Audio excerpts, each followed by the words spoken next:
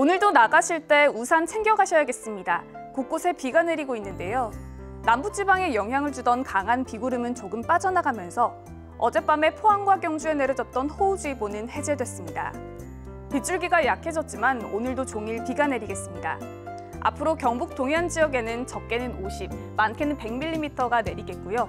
울릉도와 독도에는 5에서 40mm가량의 비가 예상됩니다.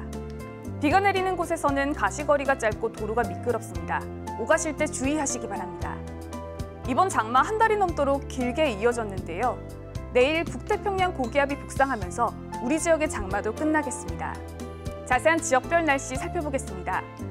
오늘도 비가 내리는 가운데 낮 기온은 23도에서 25도로 예상됩니다. 울릉도와 독도도 약한 비가 내리겠습니다. 낮 기온은 울릉도와 독도 23도입니다.